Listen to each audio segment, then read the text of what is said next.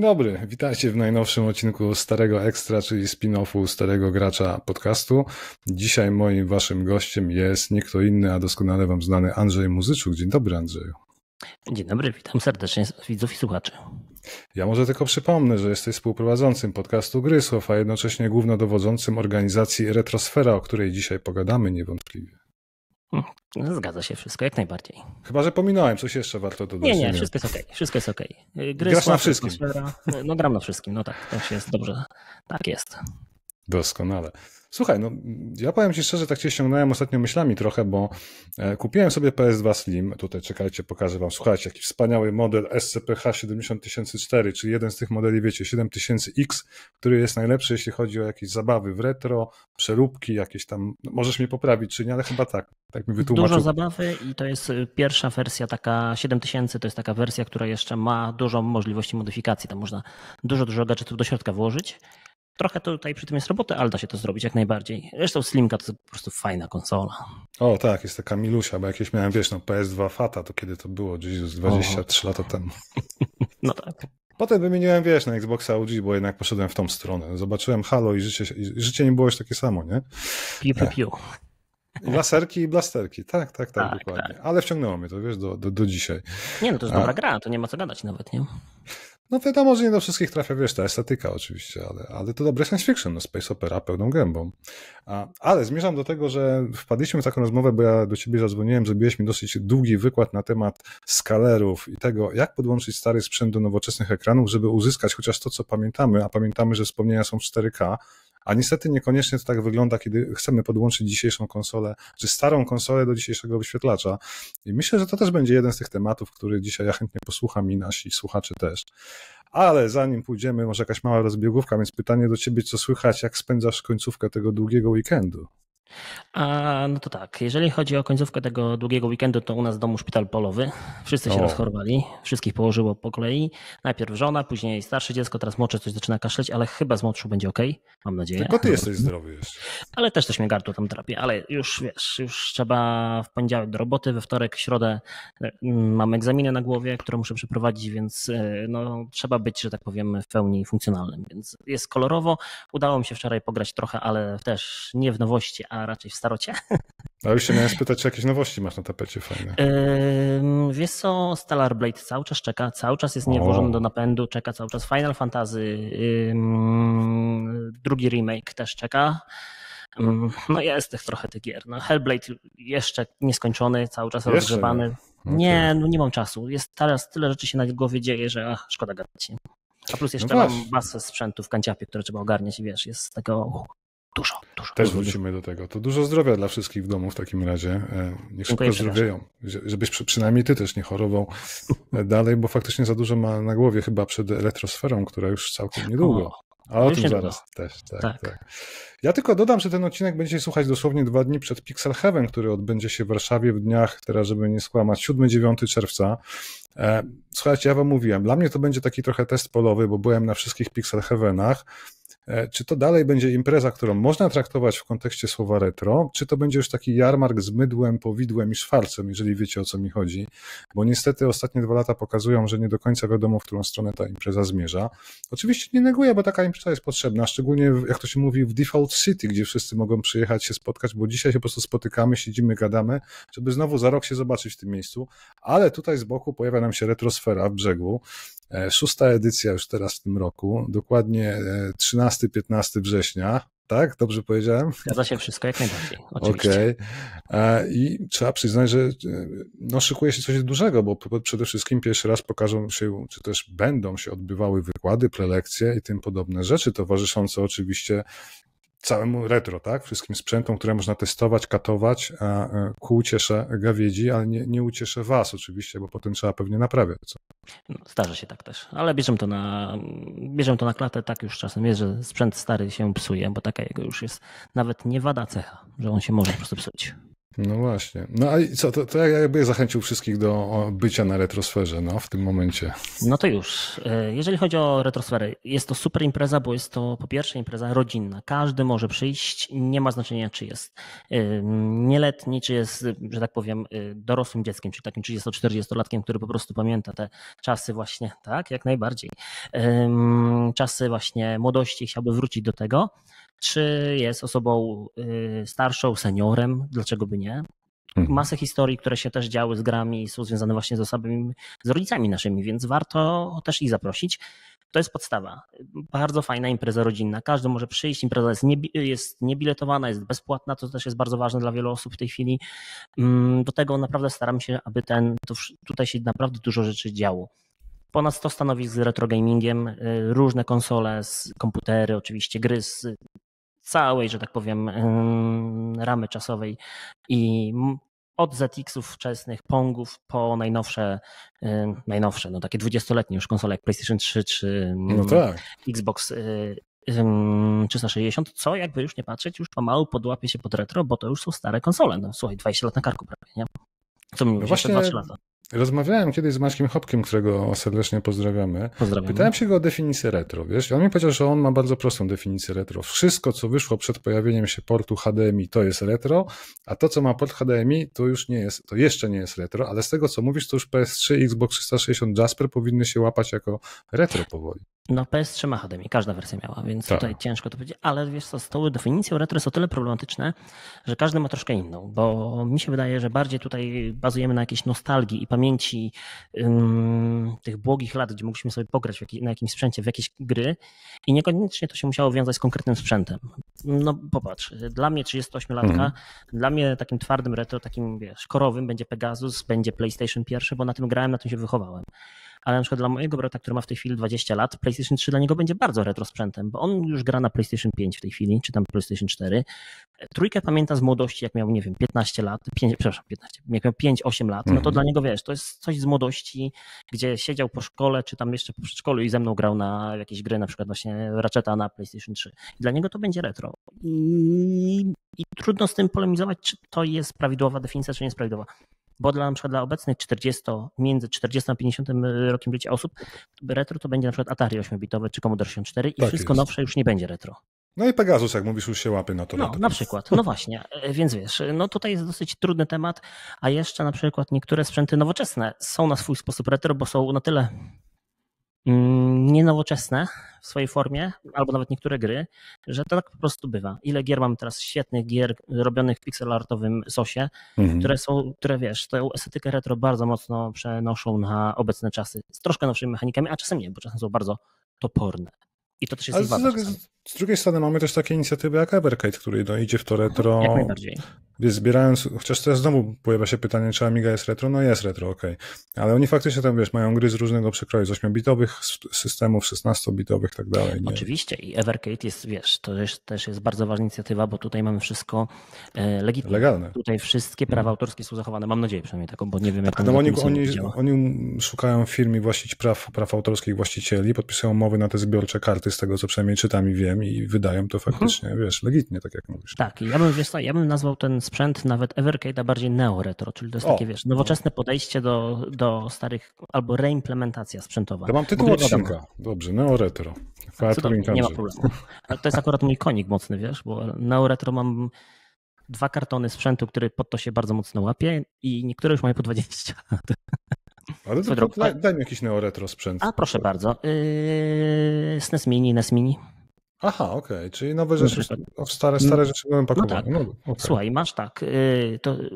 Mm, Komodorki mieli te mini, co powychodziły. Oczywiście, jak najbardziej, wszystko się łapie. Wszystko, wszystkie reimplementacje tego klasycznego sprzętu w nowszej formie to jest neoretro, bo pozwoli nam y, doświadczyć, choć po trosze tej jakości starej, tych gier przynajmniej, mhm. a jednak podane jest, no, no tak, a masz podane to jednak w formie takiej konsoli którą wpinasz plug and play i działa. Nie musisz się niczym martwić, nie musisz uczyć się obsługi, nie musisz yy, mieć jakichś listingów, żeby to się odpalić. Po prostu wpinasz i jest od razu od strzała działający sprzęt.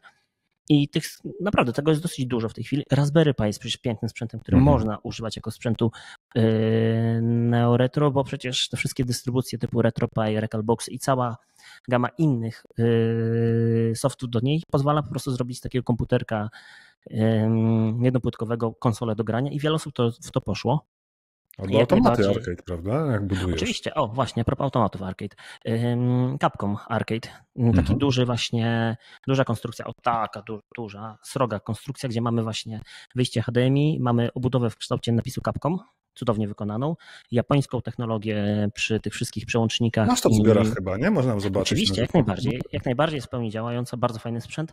Ma swoje wady, bo ma dosyć ograniczoną bibliotekę fabryczną. 20 gier chyba było parę takich. Nawet nie, nawet chyba jest 8 czy 12. No nie jest To jest dużo, problem tych sprzętów, prawda? Takich drogich fabrycznych e, od producenta. No niestety, to jest to, że dostępność gier wewnątrz jest taka, jaka jest. No, A powiedz mi, ale złamali to, tak? I można wgrywać Oczywiście, już pewnie. że złamali. Wszystko się da złamać. Ja się bawiłem, wiesz co, tym, tym PSX Classic czy Mini, jak on się nazywa? No, ten co wyszedł. Jak najbardziej sprzęt, super. Tam wystarczyło grać nowy BIOS chyba przez e, USB i mogłeś wgrywać wszystkie ROMy, czyli mieć klasycznego przenośniaka do emulacji, tak naprawdę. Yy, tak, jak najbardziej. Że z PS Classiciem jest tak. Polecam w ogóle odcinek Grysława, gdzie rozmawiałem właśnie o. z Arturem, który jest, jest jednym z twórców haka na właśnie PS Classica, gdzie dużo technicznych właśnie jest tematów związanych właśnie z tym, jak to działało, o co tu chodziło, jaka się drama tam zrobiła też, bo yy, jakby z tego samego exploitu skorzystało kilka grup i się ze sobą pokłóciły. No wiesz, o, takie rzeczy jest czasami. To takie niuanse. O niuanse, no ale wiesz, to jest taka nisza niszy, ale też się zdarza, no nie? Każdy ma swoją godność i ten. No, no, tak, oczywiście. I wiesz, i tych neoretro sprzętów jest bardzo dużo i ja zresztą polecam je kupić, czasami sobie zaopatrzyć, bo można naprawdę mm.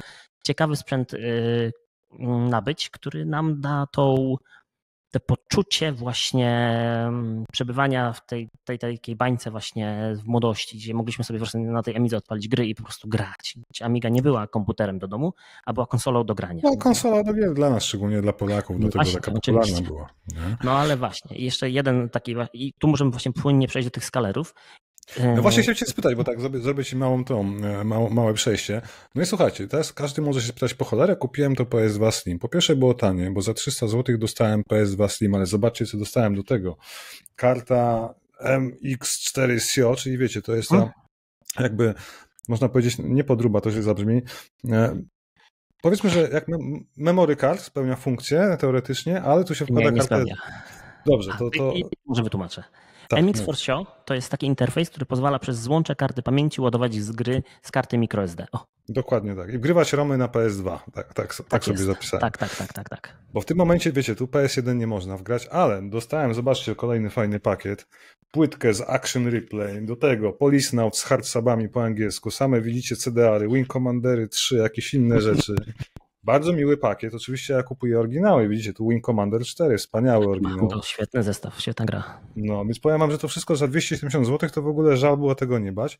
No i zobaczcie, kupiłem sobie taki badziew, nazywa się to PS2 tu HDMI. Wiecie, no po to, żeby podłączyć do telewizora. Oczywiście to nie działa, bo jak wysłałem Andrzejowi rolkę, to pokazałem, pokazałem ci chyba jak obraz się przewija na ekranie tak na takiej rolce, na bębnie, prawda? Czyli coś mhm. jest nie tak jakby z przekazywaniem czy z odbiorem tego sygnału przez telewizor na trzech telewizorach, więc coś tu jest nie tak tak? Ale Może to kosztuje 20 zł, to wiesz, to jest jakiś badziew. No ja nie wiem, jak byś to nazwał.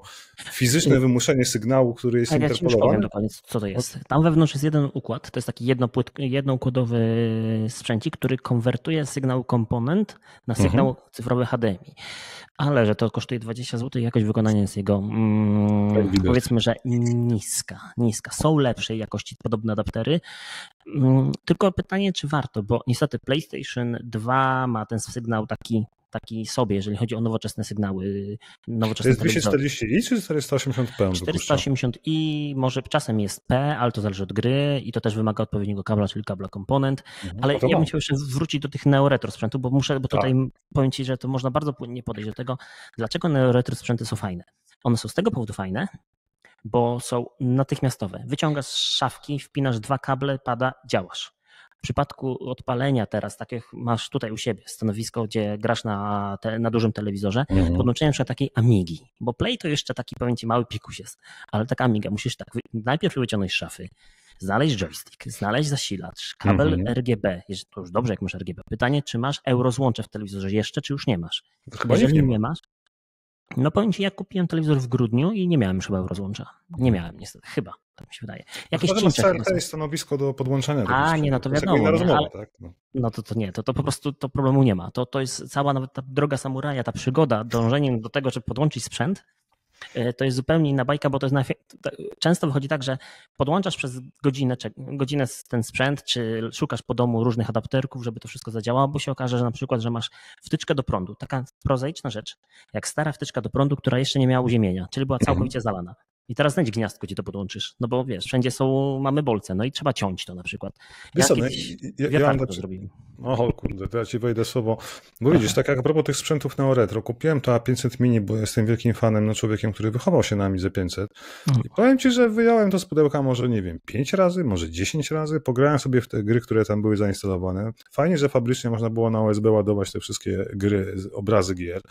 Ale wiesz co, jakoś mi się nie chce tak na co dzień jakby tego używać, bo to jest fajnie to posiadać, mam wrażenie.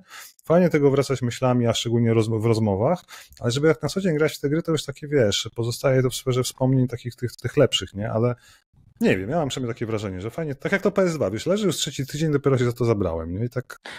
No rozumiem, wiesz co, powiem ci tak, to jest taka właśnie nostalgia, którą mamy o. i ten, to się tak nas, mamy, musimy mieć klimat na to i czas, żeby chcieć to odpalić.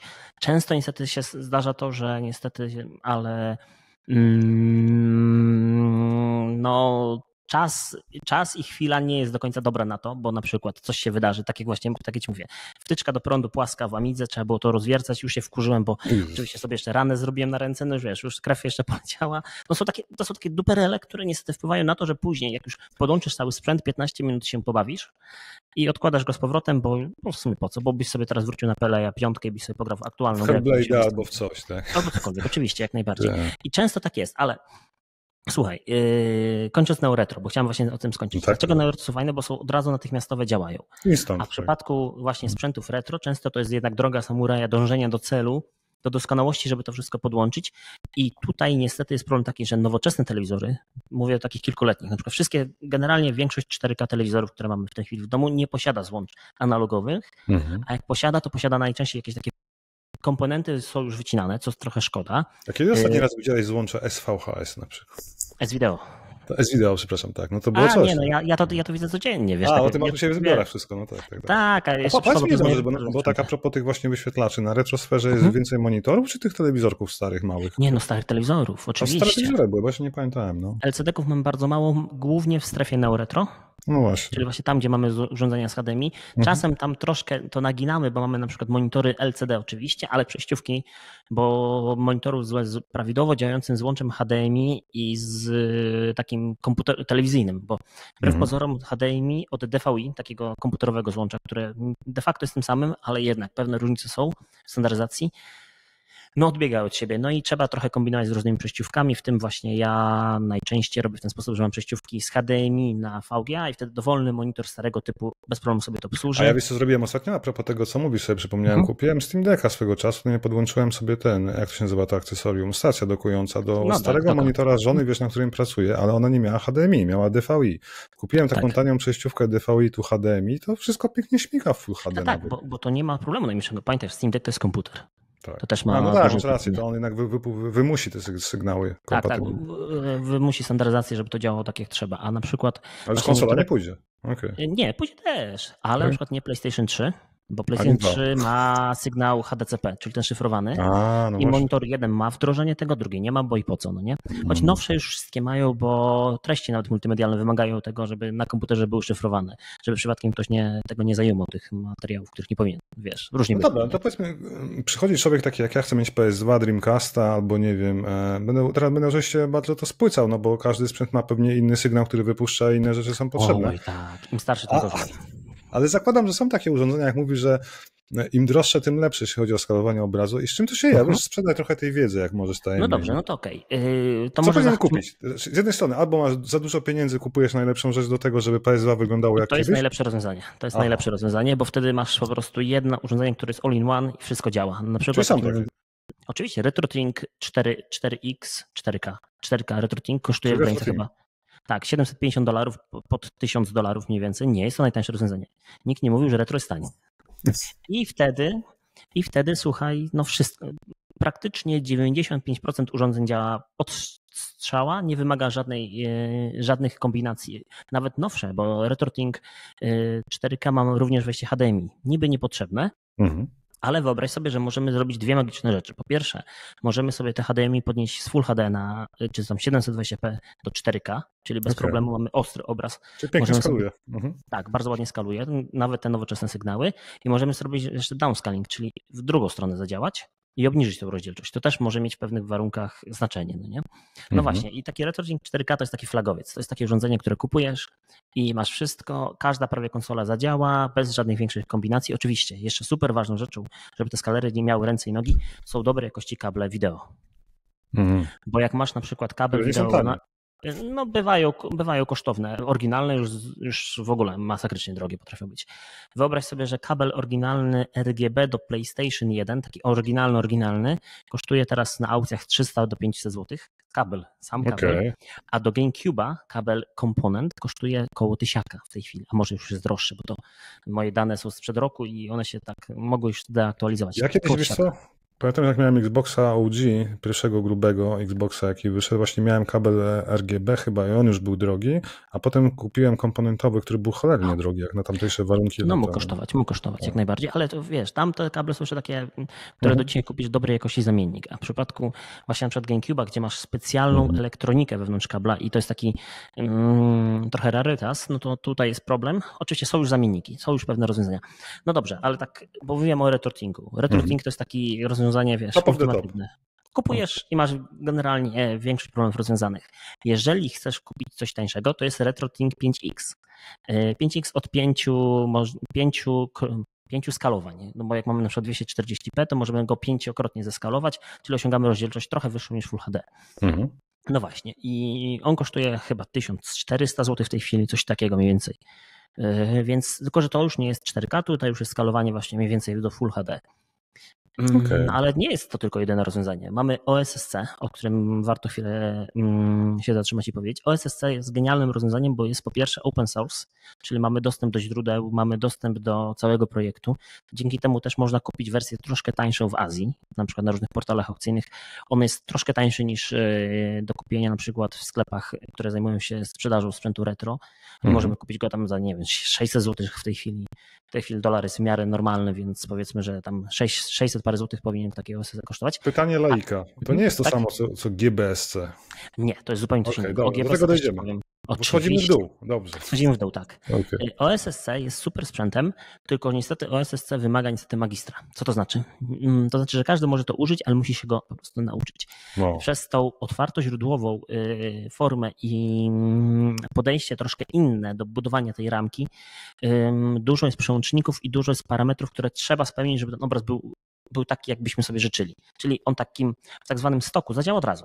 Wpinamy sobie kabelek RGB czy kabelek komponent, mhm. o wejściach jeszcze za sekundkę powiem, i generalnie sygnał wyjdzie i będzie całkiem niezły, ale nie będzie idealny. Jeżeli chcemy sobie go idealnie ustawić, to niestety wymaga to już y, pewnych y, ustawień parametrów, które możemy później sobie zapisać jako osobne profile. Tylko wyobraź sobie, problem jest taki, że to dla każdej gry trzeba zrobić. Wow. Dla każdej jednej. I tu się robi problem, bo mam wydania amerykańskie, mam wydanie europejskie. 60 Hz, 60 Hz, tak. Tak, 60-50. Do tego różne gry na różne rynki potrafią mieć, mieć ukryte dodatkowe... Ale poczekaj, to wejdę ci słowo, bo ja mam Action Replay tą płytkę, odpaliłem i sforsowałem, brzydko powiedziane, wymusiłem odpalenie polisnauców e, z wersji NTSC na konsoli palowskiej, dzięki temu wróciła synchronizacja wideo-audio, bo to się rozjechało, więc da się chyba i mhm. softowo jakoś to zrobić. Tak, ale nie każda gra na to pozwala. Aha, to też jest problem. Niektóre gry pozwalają się ładnie zhakować w locie, inne się nie pozwalają. Okay. Albo może być też tak, że w grze miałeś ten tryb, był wbudowany, gra mm. obsługiwała ten tryb wyświetlania, okay. ale na przykład wydawca tej gry na rynek dany zablokował to. Nintendo jest tutaj mistrzem, jeżeli chodzi o to. Oni tak lubią sobie przyblokować. To oczywiście mówimy cały czas o, o, o retro, bo nowocześnie to już jest fajnie unormowane. No właśnie, i taki OSS jest super, ale jedną, jedną z wad jego dosyć dużą jest to, że obsługuje tylko sygnał komponent i sygnał RGB, czyli mamy takie sygnały już tej lepszej jakości. I nie każdy sprzęt wysyła sygnał komponent. Yy, yy, takie wiesz, twarde retro, czyli mhm. Atari 8-bitowe, yy, Commodore 64, Pegasus chociażby, który jest bardzo mocny w Polsce, no to one nie wyświetlają sygnałów y, komponent, ani tym bardziej RGB. Mhm tylko sygnały um, kompozytowe, czyli taki standardowy stary, no taki cinch, cinch taki tak, stary. Cinch, no, no tak, tak, tak. Żółty, żółty, czerwony i biały sygnał. Wiadomo, żółty to jest obraz, a dwa pozostałe to jest stereo albo czasem mono złączone razem, no nie? No właśnie i to też jest problem, że tego, tego nie ma. I teraz, żeby jeszcze to wyciągnąć, to trzeba mieć osobne urządzenie, które by nam to przekonwertowało w locie albo w jakiś sposób yy, zrobiło tak, żeby ten sygnał był znośny. No jest tutaj trochę kombinacji. Weszła taka w międzyczasie taki skaler wyszedł polski od lotarka, nazywa się Meduza. On tego, on ma, powiedzmy, że jest podobny rozwiązaniem do OSSC, ale ma wejście właśnie kompozytowe, więc zdaje się, że to jest super sprzęt, ale też te, te sprzęty niestety mają te, ten problem, że one nie bazują na buforze ramki. Bufor ramki, czyli to, co jak mamy na przykład ustandaryzowany obraz i on jest mhm. później wyświetlany na ekranie. Problem jest też taki, że tutaj na przykład dostaniemy jak gra ma jakąś nietypową rozdzielczość, czyli na przykład, nie wiem, 352 piksele na 288 pikseli, no to po zeskalowaniu razy dwa możemy dostać dziwną rozdzielczość na wyjściu. No i niestety taki skaler jak OSSC czy Medusa, on po prostu ten sygnał wyda na zewnątrz. I jeszcze jak mamy telewizor, no to telewizor często ten sygnał przez HDMI przyjmie. Nie zawsze, ale przyjmie. W przypadku na przykład różnych, y, jak jesteśmy mm, y, streamerami, no to mamy jakieś grabery. Grabery nie lubią bardzo różnych. Oni lubią, grabery lubią standardy. Czyli jak mamy na przykład no tak. takiego RetroTinka, to nie ma problemu, bo tam jest zawsze 720p albo 1080 albo 4K, jak mamy dany model i tutaj ładnie to wszystko wychodzi. Więc tutaj jest dużo takich jeszcze rzeczy, niuansów związanych właśnie z tym, że ten sygnał wyjściowy jest problematyczny. Do tego jeszcze wchodzi y, duży problem z przeplotem. Co to jest przeplot, to wszyscy -hmm. wiemy. Czyli mamy na przykład gry 480i tak jest, ale możemy mieć na przykład gry na przykład 240p albo 480p. Jak jest P filmy. na końcu. Pamiętasz filmy w Wing Commanderze 4 z przeplotem? Koszmarnie tak. wyglądają, szczególnie no, na PlayStation. Ale to oszczędność też miejsca, nie? I kodeka. Tak. Więc wiadomo, no nie? No właśnie, i tutaj jest problem taki, że algorytmy, które ten przeplot nam niwelują, są różne. I niestety OSSC, Medusa działają, mają taki algorytm Bob się nazywa. Nie hmm. pamiętam teraz, jak on, jaki to jest skrót. Obraz nie jest najładniejszy po usunięciu przeplotu. Po prostu widać, że jest taki poszarpany i brzydki po prostu. Mhm. RetroTink ma taki mm, motion adaptive, tak się nazywa taki, taki algorytm, który pozwala na to, żeby ten, żeby się mm, w czasie rzeczywistym to wszystko jeszcze dostosowało i dzięki temu ten obraz na wyjściu jest dużo, dużo ładniejszy. Nie jest oczywiście, to nie jest progresywny sygnał, tak jak dostaliśmy to oryginalnie, ale mhm. na pewno jest dużo, dużo lepiej. A ile kosztuje, nie powiedziałeś, Meduza porównywalny do... Chyba 900 zł kosztuje. Czyli bliżej RetroTinka niż OSSC. No, tak po środku mniej więcej. Nie? Więc okay. to jest taka też oczywiście w miarę, w miarę przystępna rzecz. Wspomniałeś o tym GBSC. No i właśnie, o GBSC, GBSC tak. to jest taki cudowny sprzęt. Powiem tak, GBSC 8220 najbardziej polecany. Nie wiem dlaczego te 220. Jest jeszcze ten, jeszcze jest 8200, są dwa tak. modele. Generalnie to była płytka, która była fabrycznie wyprodukowana do używania jej chyba z automatami arcade bardziej, do tego chyba ona służyła. Tam okay. mamy taki układ scalony TVIA, tak, chyba jakoś tak się nazywało. Ja widziałem, że je sprzedają jako same płytki, które musisz jeszcze obudować sobie. Tak, za 300-200 tak. zł, czyli to jest bardzo w zasięgu. A nawet mniej jeszcze. Ta płytka kosztowała jeszcze przed, przed pandemią kosztowała 70 zł. Sama okay. płytka. I cały, całe mistrzostwo tej płytki było to, że ona fabrycznie była średnia. Średnia była. Nawet bym powiedział, że um, mocno niezadowalający obraz, który z niej wychodził. Tak jak Ale... to. No nie, no trochę, trochę lepiej, lepiej, no. trochę lepiej, ale też był ten poziom ym, miejscami niedziałania albo generalnie okay. no, można Loteria. było mocno zawieść, nie? Loterii, tak, tak, tak, tak, tak. Plus miała masę VAT, tam było kilka rewizji i mimo tego, że producenci próbowali to poprawić, to jeszcze psuli to bardziej, no nie? Ale pojawił się taki, taki yy, mod, nazywa się GBS Control, który pozwolił wlutować mikrokontroler ESP32, tak się nazywa ten ESP32, SP, mm, tylko nie 32, tylko model starszy 8, ileś tam. To jest akurat teraz szczegół. Ale chodzi o to, że ten kontroler przejmował yy, yy, kontrolę nad oprogramowaniem tego urządzenia i pozwolił wymusić tryby, które nie były do końca udokumentowane, to po pierwsze, a po drugie pozwolił na to, że można było na wyjściach dostać bardzo satysfakcjonujący obraz. Plus jeszcze mody różne, samego urządzenia, gdzie można było różne kondensatory wlutować, zegary, które dodatkowo nam taktowały to inaczej, troszeczkę synchronizatory, synchronizatory różne, no dużo, dużo modyfikacji. I słuchaj, i, ten, i te urządzenie jest o tyle dzięki temu genialne, że jak sami sobie to zrobimy, to w kwocie nawet niecałych 200 zł mamy bardzo solidny skaler, który dodatkowo ma właśnie ten algorytm Motion Adaptive, dzięki czemu możemy mieć na wyjściu całkiem spoko obraz, właśnie na przykład z takich, takich konsol jak PlayStation 2, gdzie niestety większość europejskich gier posiada przeplód więc jest problematyczna. I Ale z tego, co mówisz, trzeba chociaż trochę się umieć posługiwać lutownicą. No oj, trzeba troszeczkę. A jak ja mam dwie lewe ręce, to raczej nie jest No to kupujesz gotowca. A, kupujesz gotowca, okej. Okay. Zamawiasz u ciebie. Nie, nie, nie, słuchaj, y, podłapali to Azjaci, i okay. zaczęli produkować takie już gotowe skrzyneczki, które mają właśnie okay. albo sam chip i y, własną customową płytę główną, albo po prostu są takimi mm, otwartymi konstrukcjami. Tak, tak A, takimi kanapkami. Okay. Mhm. I można właśnie takie coś kupić właśnie w 300-400 zł i jest to całkiem fajny skaler, tylko trzeba pamiętać o tym, że po pierwsze nie jest idealny, to znaczy, że mimo tego, że wszyscy zachwalają, że jest super, to oczywiście nie, nie obsługuje sygnałów innych niż RGB, y, VGA i komponent, jeżeli chodzi o kompozyt i te wszystkie starsze sprzęty, to niestety nie. A jeżeli chodzi o wyjście, no to tam jest przejściówka z VGA na HDMI, czyli jakby tak jeszcze w inną stronę troszeczkę. Mhm. Więc ten obraz też delikatnie może być różnej jakości. Oczywiście wiadomo, jak to przy azjatyckim sprzęcie, raz bywa lepiej, raz bywa gorzej. E, wszystko zależy od tym, jak to dana fabryka polutowała, poskładała do kupy. Generalnie e, Borg, mój znajomy z Muzeum z Wrocławia, ma ten sprzęt, testował go generalnie jest ok, miewa swoje problemy. Na przykład gdzieś czasem odpalimy jakąś grę, nie ma obrazu, trzeba go zrestartować, czyli wypiąć wtyczkę z prądem, poczekać sekundkę i już jest wszystko ok, ale ma jedną niezaprzeczalną zaletę. Słuchaj, on ma bardzo szybki tryb przełączania między um, obrazem z przeplotem, a obrazem bez przeplotu. Bo to jest też takie okay. super, super problematyczne, głównie dla streamerów, ale też dla nas graczy. Wyobraź sobie, że na przykład grasz w klasyczną grę typu na przykład Silent Hill pierwszy, o, Mhm. Super przykład. I wyobraź sobie, że y, tak, grę masz renderowaną w niższej rozdzielczości z przeplotem, jak będziemy mieli, a menu masz y, bez przeplotu. Albo odwrotnie, już nie pamiętam teraz kolejność. Okay. Co, jakbyś, jak chcesz wejść sobie w, y, w menu, to jak masz na przykład takiego OSSC czy Meduzę, to na chwilę tracisz sygnał tą synchronizację mhm. na sekundkę. No i wiesz, to może być sekunda na przykład, gdzie obraz ci się zniknie i pojawi. A na tym właśnie mm, GBSC, czy na przykład na droższych dużo urządzeniach typu właśnie RetroTink, tego problemu nie mamy i nie tracimy tego sygnału. Czyli gdybym, gdybym miał to podsumować teraz e, po twojej opowieści, to tak, mamy najdroższe rzeczy w postaci RetroTinka 5X, który kosztuje 700 dolarów zwyż. 4K, 4K tylko kosztuje. 4K, mhm. przepraszam. Potem mamy 4Xa, który jest osiągalny w miarę 1300-1500 zł, jak mówiłeś chyba. Potem mamy Meduza od Lotarka, która wydaje się być najciekawszym rozwiązaniem, bo to już, już 900 zł, tak naprawdę schodzimy poniżej 1000. Tak, i bardzo Atari-centryczne jest też ważne, wiesz? A, dokładnie. E, potem mamy OSSC E, Star Trek Enterprise, coś tam e, w wielkim skrócie, mhm. czyli, ale tu trzeba się znać na open source i dużo czytać na ten temat, żeby to obsłużyć. No jest bogata tak dokumentacja. I to tak. kosztuje 700 zł gdzieś, tak? Plus minus. No mniej więcej, tak.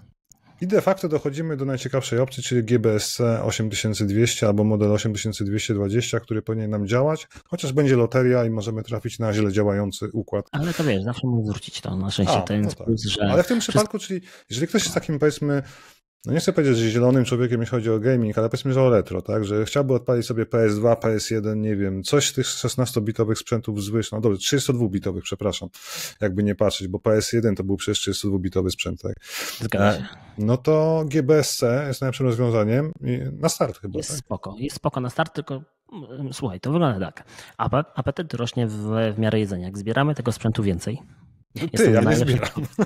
No tak, ale znajdziecie ochota na przykład na kupienie kolejnej, na przykład Amigi, kupienie jakieś tam sobie Amiszki, no to wiesz, a do Amigi akurat są fajne rozwiązania dedykowane, już takie wiesz. Mm. Zresztą o dedykowanych rozwiązaniach... Ale tu wchodzimy znowu w dyskusję o retro i, i to jest jakby moje główne nie, pytanie. Nie, właśnie nie. Nie chcesz? Nie, nie chcesz? Bo, bo, bo widzisz, dla mnie, z mojego punktu widzenia, Chyba mi się nie chce zbierać starych sprzętów. Znaczy rozumiem ciebie, bo masz retrosferę, jakby organizacja w sensie no, fundacja non-profit, tak? De facto, jeśli chodzi o formę prawną. No tak, w tym kierunku, tak, tak. Która no, musi mieć te sprzęty, żeby móc coś pokazywać i też, jak, jest takie brzydkie słowo, prezerwuje pamięć o konsolach, komputerach i no softie, tak, tak. Ja wiem, czy prezerwacja jest takim brzydkim określeniem, wiesz, to jest taka nowomowa trochę, ale w języku angielskim no, jak najbardziej cały czas jest. tak, a w polskim mi się wydaje, że nie wiem, archiwizacja jest, czy konserwacja, nie wiem, jakieś połączenie dwóch słów. Rysła by coś wymyślił fajnego.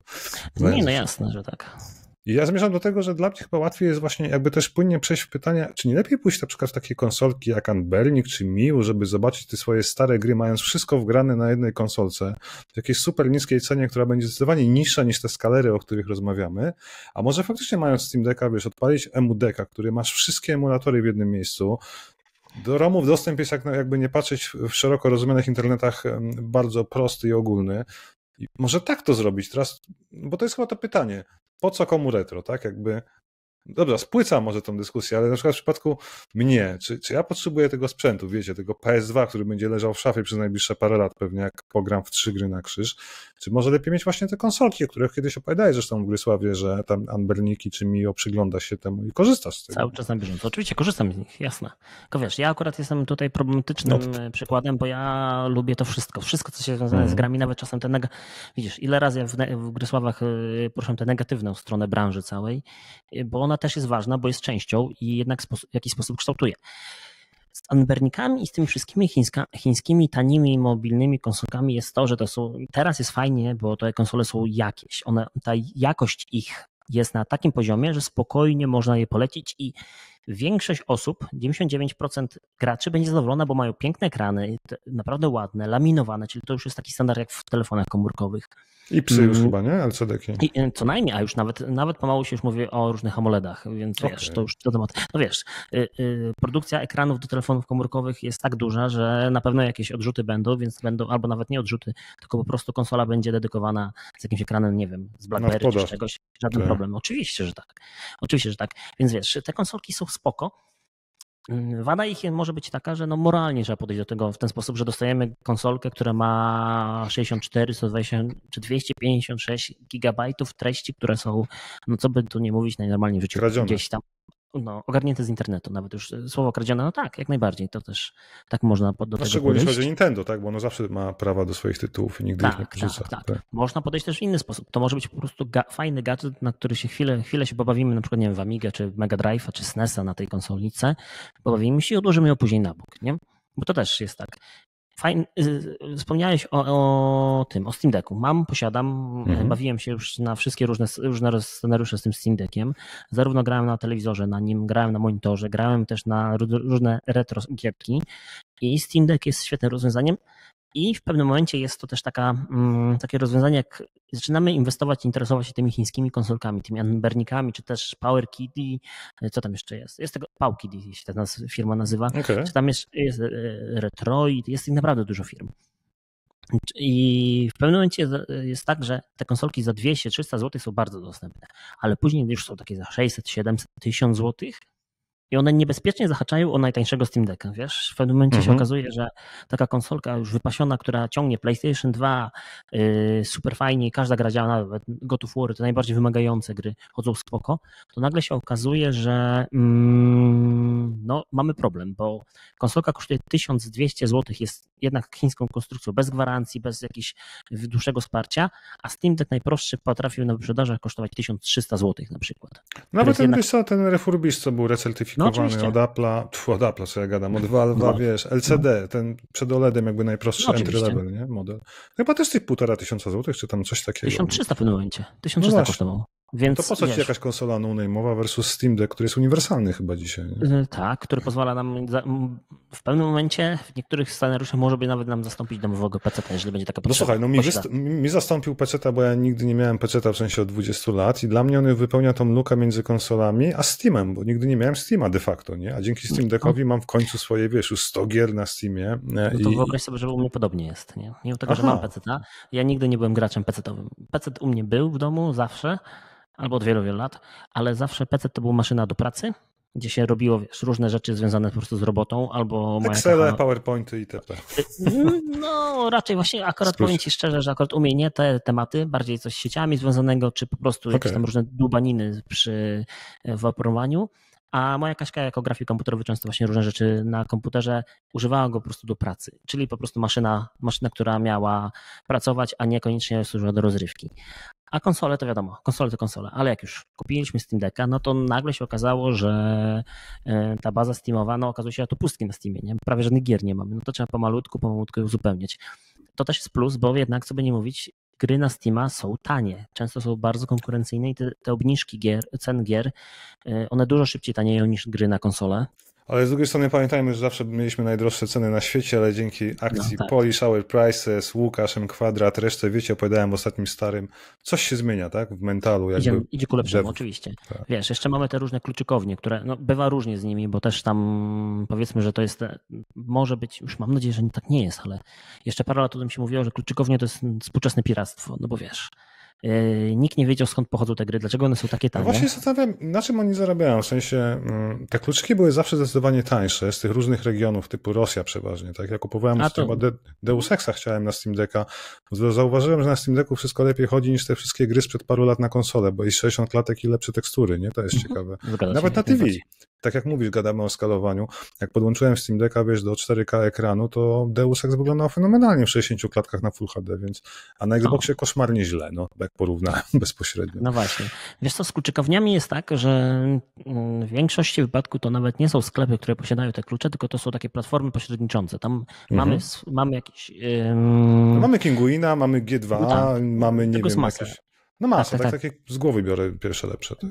Gamivio, ale nie będziemy reklamować. No słuchaj, generalnie to wygląda tak. Kiedyś, nie wiem czy pamiętasz, mm, były takie na bardzo, to było z 10-12 lat temu, jeszcze jak e, królował Xbox 360 i PlayStation 3, była możliwość kupienia punktów na przykład na Allegro.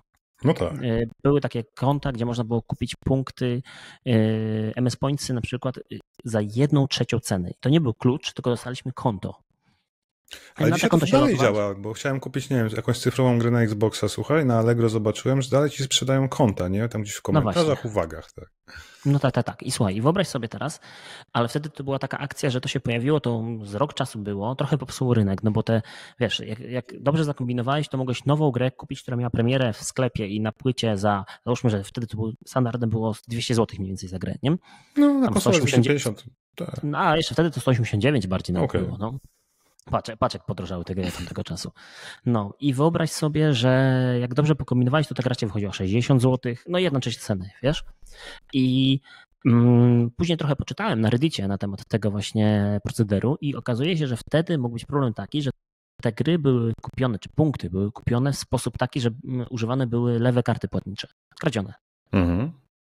No i później się okazało, że potrafiły tak MS Pointsy ludziom znikać z konta, albo gry znikać. Wiesz, no bo jeżeli się okazało, że e, ktoś się tym zainteresował, jakieś służby w jakimś kraju, nie wiadomo gdzie te punkty były kradzione, czy to były wielkie e, karty, czy to była Wielka Brytania, czy jakiś inny duży kraj nowoczesny, no to się okazało, że niestety wiadomo, doszli do tego, e, kto to, no może inaczej.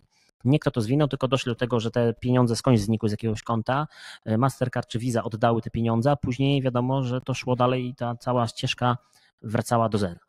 Okay. No właśnie, i nie wiadomo, czy dzisiaj też tak trochę nie jest, bo wiesz, no, skądś ktoś musiał tę grę kupić, no, jakby nie patrzeć. Rozumiem, że robią na przykład tak czasem, że mm, próbują y, sposób taki, że wyciągnąć y, ludzie od na przykład wydawców gry promocyjne, kody, klucze, jakieś tego typu sprawy, a później dalej odsprzedać. Była nawet taka afera z G2 kilka lat temu, gdzie y, nawet sami deweloperzy prosili, żeby nie na takich, nie korzystać z takich platform, bo dla nich to jest strata. Tak. była taka mhm. akcja. No ale abstrahując od tego, widzisz, e, Steam Deck jest o tyle fajnym sprzętem, że właśnie ten Steam mm, jest tani. Nawet te gry potrafią e, być... No jest dużo promocji, jak mówisz. No stop są jakieś promocje. Tak, tak. Do dzisiaj oczywiście są te gry tańsze. Gry na PC ogólnie są jakieś nie wiem, chyba 60 zł tańsze niż wersja na konsolę, bo tam jest, na PC to jest chyba 289 zł najczęściej, a na konsoli to jest teraz 349, tak plus minus oczywiście. No Ghost of Tsushima był strasznie drogi na PC, bo akurat mój, mój, mój partner podcastowy Tomo musiał kupić. Po fakcie dopiero kod dostaliśmy, ale zapłacił. No, bywa. tak. To było jakieś ponad 300 chyba kosztowało, bo to Sony, no, to może widzisz. dlatego, wiesz. No. Może być tak, nie? No ale wiesz, no te gry tyle kosztują, no fakt faktem, polityka wydawnicza jest taka, jaka jest, więc wiesz, i licencje, które mamy, które nas wiążą z Valve są takie średnie, no bo tam, wiesz, cały czas tą grę, mimo tego, że ją kupisz za realne pieniądze, to ona nie jest realnie twoją własnością, no, no to, tak. to jest Jedyną, Masz jedyną prawo do użytkowania, tak. Tak, i to też jest tam hmm, chyba wieczyste tylko. Tak mi się mhm. wydaje, nie wiem jakie. Czytałem, wiem, że w ogóle po śmierci użytkownika konta to przepada wszystko, nie ma jakby prawa do dziedziczenia. Ostatnio nawet była informacja oficjalna od Valve. To jest ciekawe. No właśnie, jeszcze, jeszcze nie widziałem, bo wypowiadał się o no tym. Powoli wiesz, dochodzimy do takich e, pytań, nie? Co, co po śmierci użytkownika, no, nie? Co słuchaj, z socjalami, co z cyfrowymi dobrami, co, co z innymi rzeczami. Oczywiście. No wyobraź sobie, że mam taki przypadek, mogę nawet e, o, o nim powiedzieć. Taki mój znajomy, starszy, starszy facet już, znaczy starszy facet, no ja, ja miałem wtedy 35, on miał mniej więcej około 50, był może troszkę młodszy, był, nie wiem, 45. Mm, stary kawaler, ja. który, stary, sta, stary kawaler, który mieszkał sam, sam był generalnie mm, e, geekiem, o tak to nazwijmy. Zbierał różne figurki, komiksy, książki e, i miał ogromną bibliotekę gier, ogromną na Steamie. Tam wiesz, tam była ta biblioteka gier, to było nie wiem, z 800 tytułów, może 1000 nawet. Mhm. I one wszystkie były kupione kiedyś fizycznie jako płyta plus kod, które aktywowaliśmy na Steamie. Później oczywiście kupione były na Steamie. No i teraz sobie wyobraź tak. Wyobraź sobie, że facetowi się zmarło. To oczywiście jest wielką tragedią dla rodziny. No ale nikt nie znał haseł ani do Steama, ani do PC-ta. No i, no i co teraz z jego kontem? Przepadło, wiesz, rodzina się, rodzinę to nie interesowało. Ja próbowałem interweniować w tym wypadku i powiedzieć no słuchajcie, no dajcie mi ten komputer, ja wyciągnął te dane, można mhm. się z Valve skontaktować, chociażby po to, żeby te konto odblokować i nawet, nawet nie wiem, sprzedać go nie wolno, bo licencja na to nie pozwala. Ale chociażby po to, żeby gdzieś je zachować i nawet po latach do niego wrócić. Przecież, przecież nikt temu nie broni. No ale chcieli, jak chcieli, zrobili troszeczkę inaczej i ten komp poszedł po prostu do utylizacji.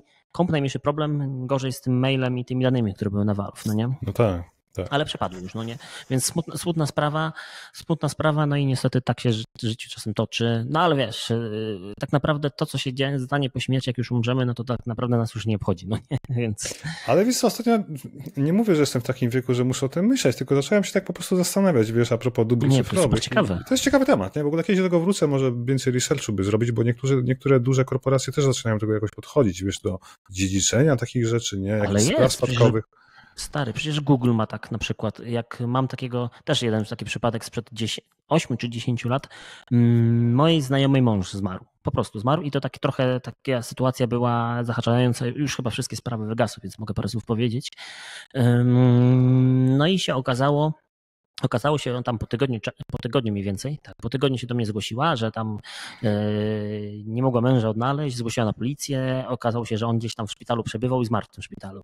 No oczywiście wiadomo, sprawy wszystkie spadkowe, pochówek, różne rzeczy. No ale teraz prowadził działalność gospodarczą, mhm.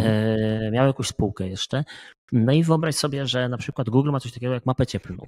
Jak, jak udowodnisz, mhm. że jesteś osobą z rodziny i trzeba przesłać oczywiście akt zgonu, kserokopię, dowód osobisty, takie, no, udowodnić, że jest się osobą z rodziny, no to Google udostępnił oczywiście całą tą paczkę swoich danych, czyli wiadomo, można było zarchiwizować wszystkie zdjęcia, wszystkie socjale te związane z Googlem, y, plus mapę cieplną z Google i okazało się, że miał dwa magazyny gdzieś we Wrocławiu, wiesz? Bo tam na mapie cieplnej okay. było zaznaczone i ona, i ona dzięki temu doszła do tego, że tam jeszcze jakieś dobra były, jakieś tam trzymał swoje różne, nie wiem, powiedzmy, że obrazy, no nie? Ale to są takie tematy, które no bez takich rzeczy, no ciężko byłoby do tego dojść, no bo skąd byś miał o tym wiedzę? No jeżeli ktoś nie miał podsłuchu albo ym, albo jakiegoś, nie wiem, GPS-a zamontowanego, no to skąd ona może wiedzieć w przyszłości, że coś takiego się mogło wydarzyć. A wiesz, takie rzeczy się po prostu mogą wydarzyć. Komuś, ktoś może dostać nagle zawału, no i nie ma go, no nie? No to się po prostu zdarza, no nie? Yes. Życie.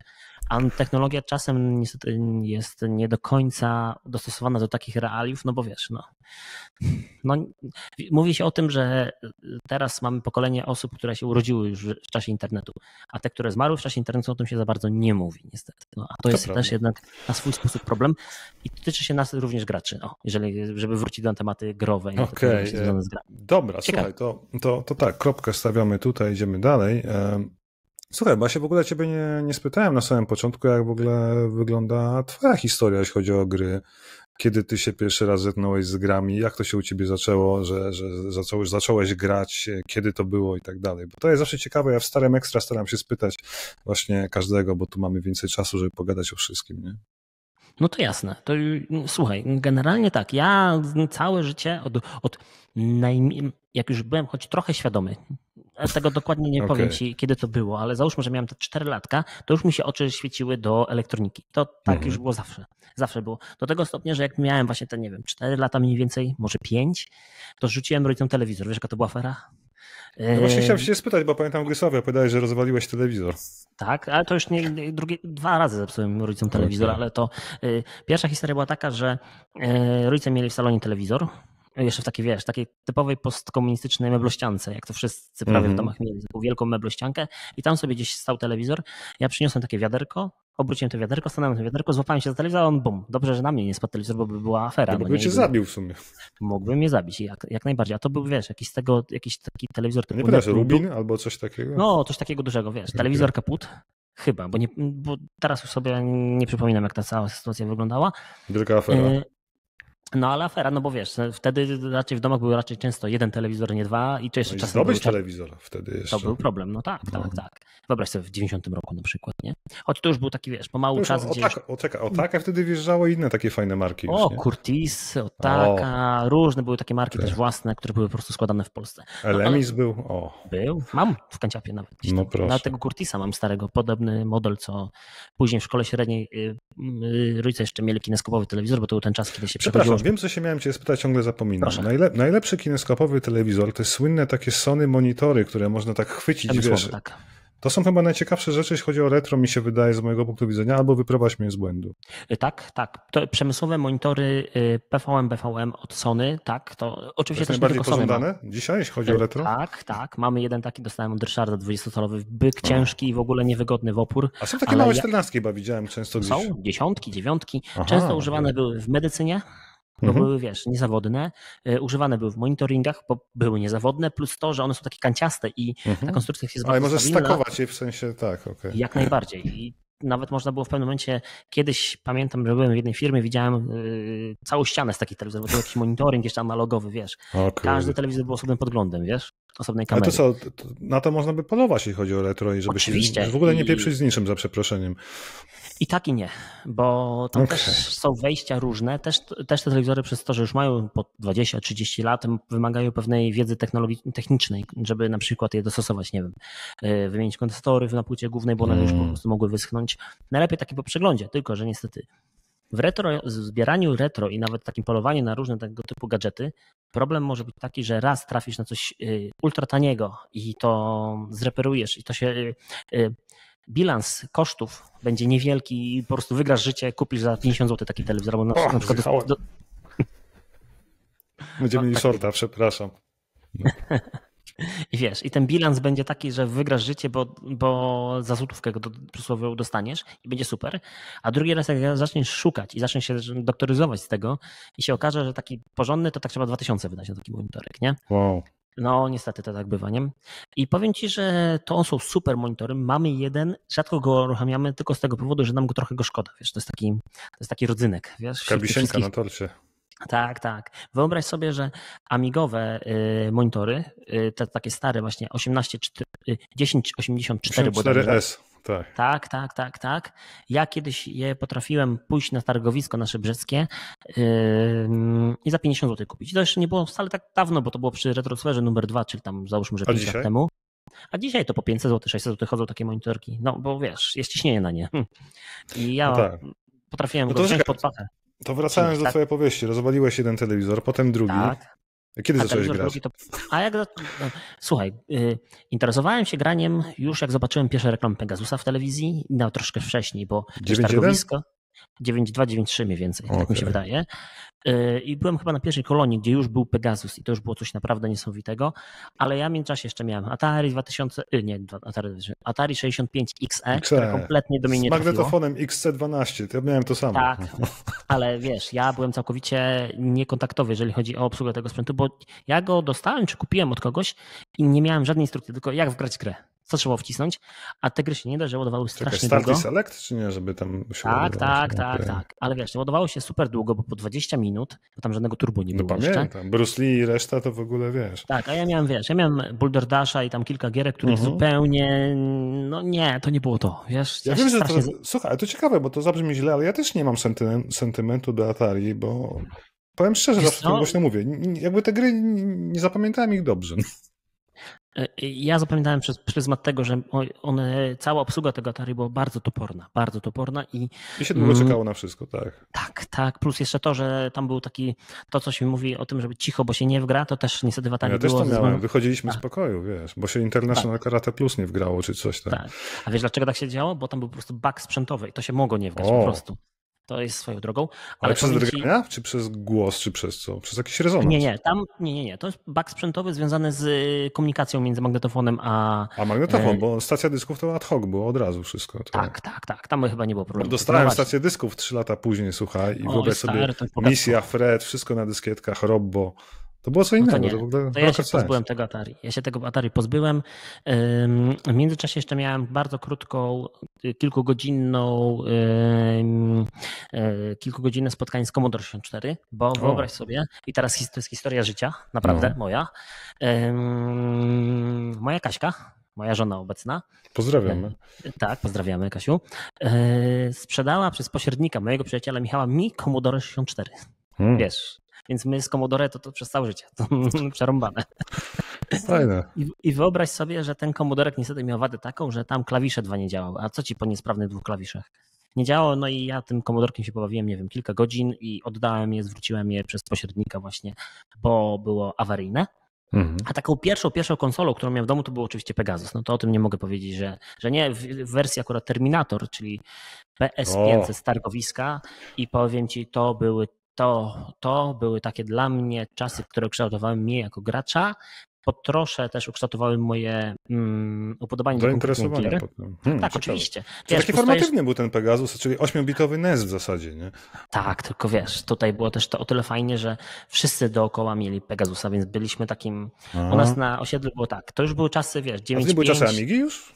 Oczywiście, to były Amigi, Commodore, to wszystko było. Tylko u nas było tak, że na przykład ja posiadałem Pegasusa, dwóch kolegów w bloku obok miało Pegasusy, y, kolega piętro niżej miał Amigę, ale że wszyscy mieli Pegasusa, to moi, jego rodzice też mu kupili Pegasusa, bo wiesz, istniała cała ta podziemie z wymianą kartridży między kolegami, no, okay. jedni mieli lepsze Pegasusy, inni mieli gorsze Pegasusy. Słuchaj, my siedzieliśmy wieczorami, na przykład graliśmy w Kapitana Tsubasa po japońsku i rozkminialiśmy, jak jak każdy znak z y, alfabetu japońskiego, co on mniej więcej znaczy, wiesz? Okay. Bo, bo gra była po japońsku, to była taka strategia i troszkę arkedówka, no takie połączenie specyficzne. Czekaj, to hiragana, I... katagana, tak? Dwa alfabety? Tak, tak, tak. I my rozkminialiśmy mniej więcej, jak to wszystko działa i rozpykaliśmy tą grę, wiesz? Rozpykaliśmy, wow. wiedzieliśmy, które, które, um, które znaczki co znaczą, mniej więcej oczywiście. Na przykład to był KOP, to był unik, mm -hmm. tutaj to coś innego znaczyło i my siedzieliśmy i te wszystkie gry rozkminialiśmy i naprawdę powiem Ci, że to był dla mnie bardzo, bardzo ważny okres mojego życia, bo kupę znajomości tak się utwardziła wtedy jako wiesz, dzieciaku z podwórka. No i de facto przez Pegasusa zostałeś tym konsolowcem na zawsze, tak? Tak, oczywiście i wiesz, i później... Potem później PlayStation? Jest... Tak? Oczywiście, że tak. Mm. I, wiesz, I to samo, tylko na większą skalę i już mhm. bardziej świadomie, no nie? No i powiem ci, że to jest coś naprawdę... A nie patrzyłeś co... na PC z boku, gdzie rozbijały się te strzelanki, wiesz, wszystkie PC były drogie. Drogie no były. Moich rodziców nie było stać też na PC za bardzo, bo to wiesz, to był wydatek, Pegasus kosztował 50 zł, PlayStation kosztował 4 czy 5 A PC też parę tysięcy, te 486 DX-y, nie? A to już były trochę nowsze czasy, wiesz, to już były takie na 9, czasy 4, 9, 5, no tak. No i trochę później, więc wiesz. To też było tak, że tego Pegasusa parę lat miałem i nawet jak mieliśmy Playkę, to jeszcze grywałem na Pegasusie bo to był fajny sprzęt właśnie do grania w niektóre gry, których nie było nigdzie indziej. A co do Playki, no to wiesz, z Playką to było już tak, że Playkę kupiliśmy chyba późno, już 9, 8, 9, znaczy późno. To jest Metal Gear. Drugiej, mhm. to, już, to były te czasy tej drugiej połowy życia drugiej połowy życia PlayStation, już to nawet, nawet bym powiedział, że już, już się pomału mówi o następcy na no, PlayStation 2, ale wiesz, to był czas, kiedy ja chłonąłem te gazety wszystkie, wiesz, hmm. PSX Extreme. Yy, Oficjalny Neo, PlayStation magazyn, pamiętam, Oczywiście jak z, opisami. Tak. tak, tak, tak, to było to. Jeszcze był PSX Fan, czy był fan, był... były jeszcze jakieś plusy, były jeszcze jakieś coś. Tak, tak, Każdy tak, chciał tak, się podpiąć tak. po ten hype train, nie? Tak, tak, i ja te gazety wszystkie mam prawie w kanciapie i powiem ci, że to, że teraz jeszcze żyje PSX Extreme, bardzo mi to cieszy, no bo wiesz, no to była też. Też, bardzo formatywne dla mnie i ja te no Właśnie opisy... w zeszłym odcinku, przepraszam, dwa odcinki wcześniej był Consolite, teraz będzie mówił, że znowu nie pamiętam jak się wymawia jego ksywę, ale okej, okay, wybacz. E, trochę, opowie, trochę gadaliśmy właśnie o tym przejęciu Extrema przez Pereza, nie? Czyli, czyli Pawła Myśliwca, który był związany od zawsze z Extremem, nie? I teraz stwierdził, no tak, że nabędzie no tak. prawa zostanie wydawcą. Ja też się bardzo cieszę, bo w dobre ręce trafił. E, mam wrażenie, że idea Head e, by chyba niebawem zamknęło, tak jak Pixela, nie? Po SX Extreme. Powiem ci, nie wiem, ale po ich ruchach wydawniczych i mm, tym, że no jednak rynek teraz ostatnie trzy lata zrobił się naprawdę trudny dla wydawnictw, no bo wiesz, ceny papieru są takie, a nie inne. Ale z drugiej strony masz, zobacz, takie inicjatywy jak Gamebook czy Open Beta, którzy w, w, wydają niesamowite książki, chociażby wiesz, e, tak o tym nie będę dzisiaj opowiadał, ale wiesz, ten almanach gier przygodowych, polska wersja bitmapów, no to jest cudo, nie? To jest... No tak. Przy okazji, drodzy słuchacze, do wygrania jeden egzemplarz zafoliowany, bo to jest mój prywatny, w starym graczu głównym, może tak, niebawem. Nie, zmierzam do tego, nie, no, że, że to można zarobić pewnie i, i, takie rzeczy to ja jestem... No tak, ale ja się, wiesz, to no. są jednak... Yy... No projekty, tak, masz rację, na pewną tak. skalę i... Nie wiem, czy widziałeś, jak wyglądały projekty Pixela z wydawaniem tych y, książek Kupiłem. na temat nie kupiłem no, ja tego też... Atari nowego, bo stwierdziłem, ja że mam dosyć. Ludzie po dwa lata czekali chyba, tak? No to... no to to jest też pewien problem. Tam były takie różne zawirowania. Ja rozumiem, że Dostałeś model Amigi do dzisiaj, czy nie? Nie, ja sobie zrobiłem. Ja poprosiłem żonę, w, w, zrobiła mi w drukarni. Mam go cały czas u siebie. Okay. Tylko nie wyciąłem go jeszcze do dzisiaj. Nie? Ale, Ale mam, mam, go na grubym papierze, zrobiony taki e, z fajnym wydruku i z PDF-ów tych ich e, udało się to. Jeden z niewielu osób w Polsce, które ma to. Dokładnie. To, to, to, taka tak. złośliwość z mojej strony. Um... Ale wiesz, to tak jest. Po... Ja też nie do końca będę na nich kładł krzyżyk, bo wiesz, wydawanie w obecnych czasach no domyślam się, że jest trudne. No. książek no. jest problematyczne. Mm, wiesz, grupą docelową są fani retro. Ich jest dużo. No to są my tacy 30 plus, 40 w zasadzie plus. Tak, tak 30, 40, 40 i powiedzmy, że początki 50, bo jak na przykład Rysiek, no nie, chociażby. Na przykład. Nie? No właśnie, więc no, grupa docelowa jest jaka jest, plus to, że to była jednak zbiórka najpierw, później pewne problemy wydawnicze, bo nagle wjechał COVID, wjechały te wszystkie problemy właśnie z cenami papieru, wszystkiego. Jeżeli chodzi o książki, to wiesz, to jest troszeczkę, mówię o konkurencji na przykład, mhm. tutaj jednak można sobie te oczka wydawnicze jednak jednak roz, trochę rozciągnąć, no nie? To prawda, no. Widzisz, prawda, te książki chodzą raz na kilka miesięcy. To nie jest tak, że co prawda. miesiąc dostajesz nową książkę. Może globalnie, w całym, jakbyśmy się na naszym całym rynku polskim e, zamknęli, to może ta, co miesiąc jakaś książka wychodzi, bo jak nie wychodzi nawet taka duża oficjalna książka, to ktoś jakąś pracę doktorancką pisze, którą później musi wydać, więc tutaj troszeczkę się dzieje. Ale w dalszym ciągu trzeba jednak zważyć na to, że retro jest na swój sposób jednak niszą. Popatrz, u mnie frekwencja na retrosferze, u nas. No. To, wiesz, to nie tylko ja, bo jeszcze przecież Mariusz, Katarzyna. Właśnie, przejdźmy płynnie do retrosfery. Dobra, to jaka jest no, frekwencja na popatrz. przykład ostatnia Vol 5? 3000 osób było. 3000 osób było. To dużo dla nas rewelacja. Jak na lokalną są... imprezę de facto, bo mm -hmm, ja mhm, tłumaczę ludziom, że, że, że, na retrosferę warto wpaść do brzegu.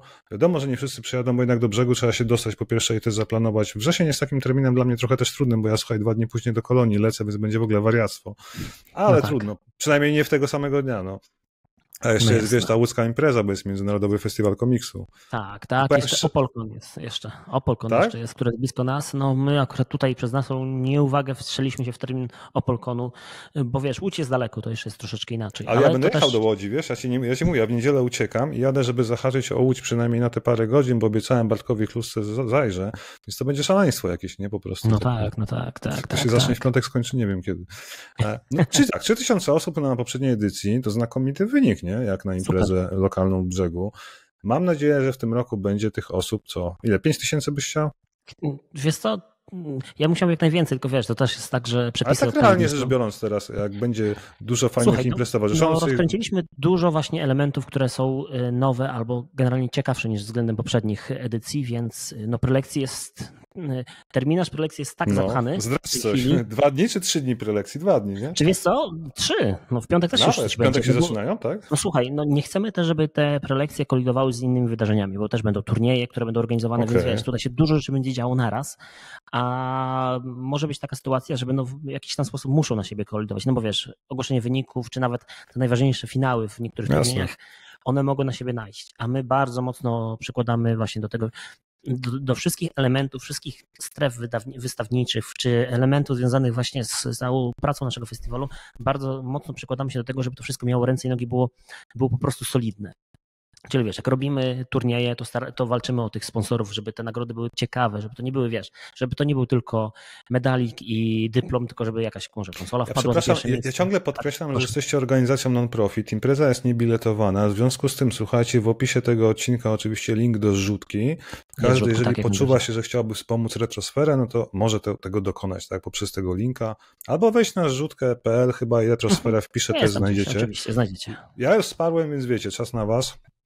Ja jak zawsze gorąco zachęcam, ale mów dalej, bo tak, jak byłem na transferze, to mi się przede wszystkim w oczy, mm, źle, źle to zabrzmi, ale to, co mnie ujęło, to lokalizacja, czyli ten zamek Bowsera, Ratusz. jak mówi Rysław, tak? piękny, tak? tak? Ratusz w brzegu piękny, pasuje idealnie, mhm. wypełniony sprzętami po brzegi, ludźmi, wiesz. Tak jak mówisz, cały przekrój społeczeństwa, od małych berbeci biegających, grających w Tomb Raidera, czy widne, wiesz, Bruce Lee, Zorro i takie rzeczy, które my pamiętamy, mamy sentyment, oni niekoniecznie, ale w to grali.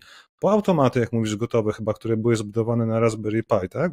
Z tego, były, były automaty, tak, tak. Taka fajna konstrukcja była, nie pamiętam, czy to było z Commodore, z jakimiś lampkami, z czymś tam, co tam... A to pan Andrzej, jego, jego mm, automatyka zrobiona na Commodore 64, czyli to, co teraz mamy... E, Deus tak Ex Machina, nie wiem, co to było. To jest takie, wiesz, tak jak teraz mamy IoT, czyli te komputery okay. rzeczy i różne światełka zdalnie sterowane, tak pan Andrzej to zbudował na bazie Commodore 64, e, języka BASIC i po prostu autorskich rozwiązań, które się wpinało w złącze Commodore 64 i to wszystko, mhm. światełka, wentylatorki, to wszystko, ta cała automatyka żyła i e, działała. I to jest po prostu niesamowite, że kiedyś można było to zaprojektować i to działa do dzisiaj. I jeszcze to można oczywiście rozbudować na swój, na swój sposób, a teraz wiadomo, kupujemy Arduino za 15 zł, czy już gotowe urządzenie od jakiejś firmy większej, która produkuje IoT i mamy po prostu to gotowe, więc to jest niesamowite. VR-y dosyć mocno u nas też no w tym roku podkreślone, będzie więcej, będzie ciekawiej. Eee... No powiedzmy, kto będzie w ogóle, no bo tak, no, wiemy, że Arch Archon będzie, Energik będzie, Ekipa będzie, Kwadratu będzie. E, no, oczywiście. Grysław będzie, będzie. Czyli, czyli i ty i Rysław w podwójnej roli w zasadzie organizatorów, oczywiście, jakby tak. nie patrzeć i, i, i podcastu. Kto mhm. jeszcze będzie z fajnych osób? No ty będziesz, oczywiście. A ja będę, tak, ale to przy tak. okazji. tak. Mamy pewnie... jakąś słuchajcie. Tak, tak, oczywiście. Słuchaj, będzie, będzie RAF od C64 Power, o. będą cosplayerzy. Hmm, kogo? Ja, ja generalnie wszystkich zapraszam, więc Słuchaj, teraz... Ja w ogóle namawiam ludzi, bo teraz jak zaczyna się Pixel mhm. Heaven, to jest idealna okazja, żeby każdego namówić na to, żeby wpadł na retrosferę. Tak, tak, tak. Tam cisnę tak. chłopaków z loadinga, żeby też wpadli, nie? I tak no, dalej. jak mają mówić, to jasne.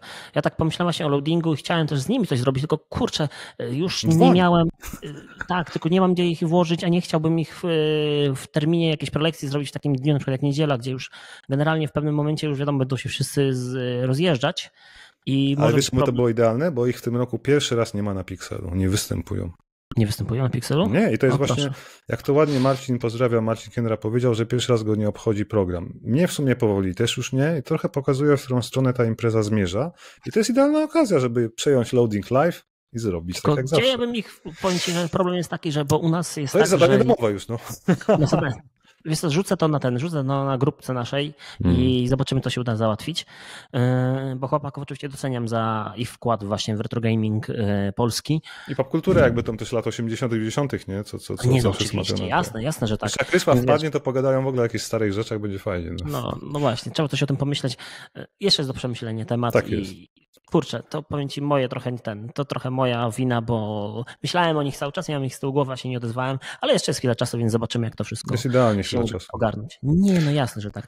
Co jeszcze, co jeszcze? Ja ci jeszcze powiem tak, no. co się będzie działo, bo gości naprawdę jeszcze Kilku, tak, mamy retro, mamy VR-y, mamy A, dużo fajnych sprzętów, też Maciek Hopek przywozi, zawsze była rękawica. Oczywiście, Power tak, Glove, tak. prawda? Tak. Virtual Boy może będzie. O. Może będzie, tak. Y, Maćka, ten Power Glow leży u mnie w piwnicy, bo go pożyczyłem do nagrania gry Sława, no mu go nie odesłałem. Nie, nie, nie, nie, wiesz. Ja szanuję sprzęt retro i zawsze to jak coś pożyczam, to później odsyłam. Tylko, że teraz no, Maciek się nie upomina, a ja po prostu odłożyłem sobie na półkę do odesłania i tak leży, się zbieram od już trzech tygodni, żeby to odesłać, mm -hmm. ale w końcu to muszę, musi to nastąpić. Chyba, że Maciek powie, że mam to już zostawić do retrosfery, to sobie tam bezpiecznie będzie leżeć na którejś z półeczek.